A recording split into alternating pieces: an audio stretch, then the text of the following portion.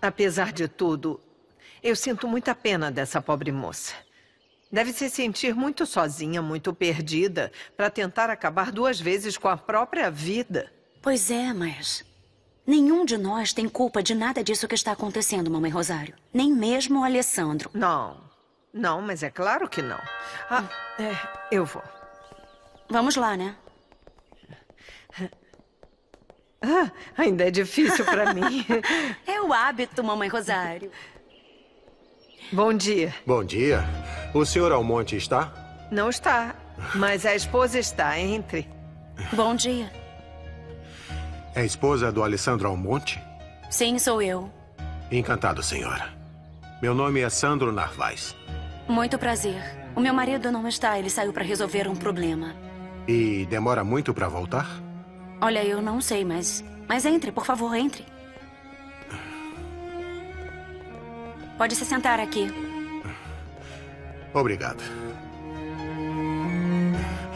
Bom, eu sou o representante legal da senhorita Fabiola Guilhem. Ah. Com licença. Não, mamãe Rosário.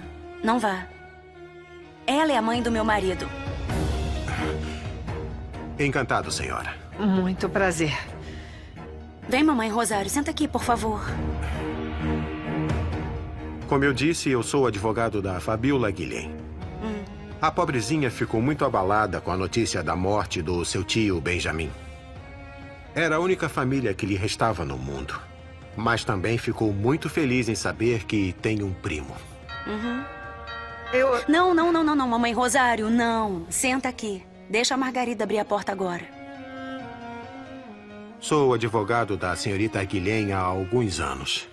E acabei me apegando a ela. É uma mulher muito frágil, que cresceu sozinha. Tudo o que ela deseja nesta vida é ter uma família. Uhum. E é verdade que ela tinha três anos quando os pais morreram? É verdade, num acidente de carro. Foi um verdadeiro milagre ela ter sido a única sobrevivente. Ai, meu Deus. E a Fabiola estava com eles? Ela não contou para você? Bom dia. Eu preciso falar com o senhor Almonte. José Luiz. O meu marido saiu de casa faz tempo. Bom, nesse caso, eu gostaria de falar com você. É claro. A sós. Você pode ir para o escritório e me esperar lá. É naquela porta, por favor. Sim. Margarida, por favor, oferece alguma Sim. coisa para a visita bebê e depois fique com a Sofia, tá? Porque ela está cuidando do bebê. Qualquer coisa que precisar, me avise, por favor. Se quiser, eu vou. Não, não, não, não. Você vem comigo. É melhor você vir comigo até o escritório. Sinta-se em casa. Me desculpe, eu já volto. Não se preocupe, senhora.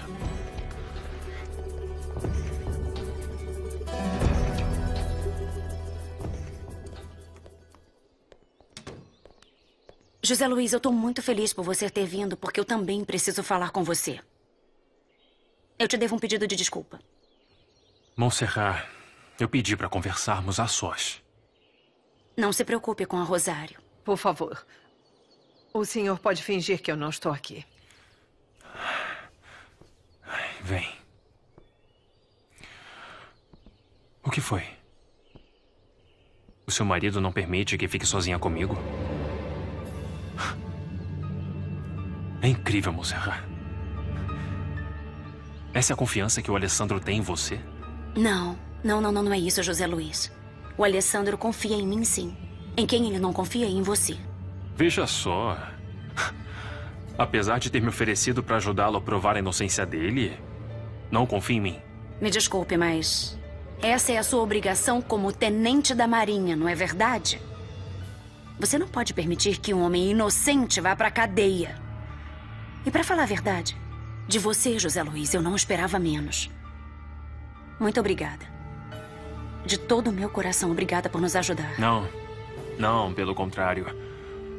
Mas eu não sou como sua família, Montserrat. Não vou me aproveitar dessa situação para prejudicar o Alessandro como eles fizeram um dia comigo. É.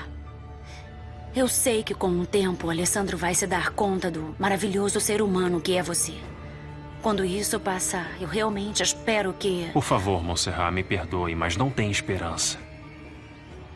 O seu marido sabe que eu ainda amo você. E eu sempre vou ser um problema para ele. Muito cuidado com o que você diz. Bom, já que não podemos falar livremente, é melhor eu ir embora. Vou te deixar em paz. Me perdoe, Monserrat, mas não sei como você pode viver com tão pouca liberdade. Não, não é o que parece, José Luiz. Monserrat, por favor, você não está mais na fazenda. Mas parece que esta casa também é uma prisão. Não. Isso não é uma prisão, eu garanto. E ainda que fosse, eu seria feliz sendo uma prisioneira do Alessandro por toda a minha vida.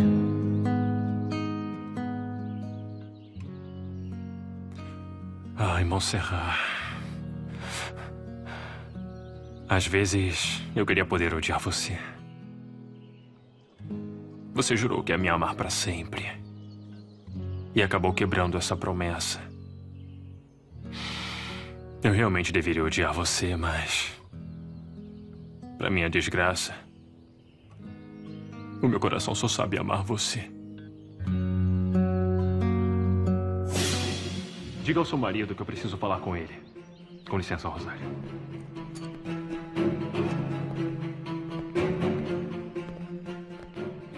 Desculpe. Não fomos apresentados. Meu nome é Sandro Narvaez. Sou o Tenente José Luiz Álvares. Muito prazer, Tenente. As suas ordens. Até logo, Monserrat. E, por favor, diga ao Alessandro que eu preciso falar com ele. Até logo, José Luiz. E mais uma vez, muito obrigada por tudo. Bom, prazer em conhecê-lo. O prazer foi meu.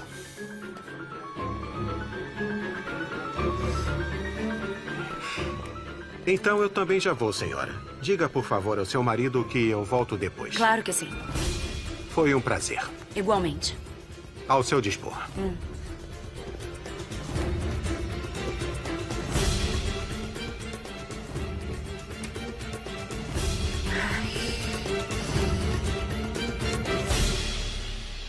Tenente Álvares. Eu não quero incomodar, mas acabei de chegar de Miami e não conheço o povoado. Pode me indicar um lugar agradável para comer? Sim, claro que sim. Se quiser, posso levá-lo para o centro de Água Azul. Muito obrigado. Então, vamos lá.